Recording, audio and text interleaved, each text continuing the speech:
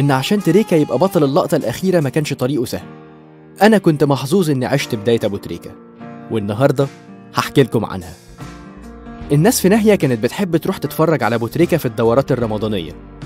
بس البطل ما كانش محمد محمد محمد. كان أخوه الكبير أحمد اللي صيته مسمع في منطقته كلها. وفي يوم من الأيام اتصاب لاعب من فريق أحمد فقال لأخوه محمد اللي عنده تسع سنين ينزل يكمل الفريق في الملعب. وشارك محمد. أول لقطة لمحمد كان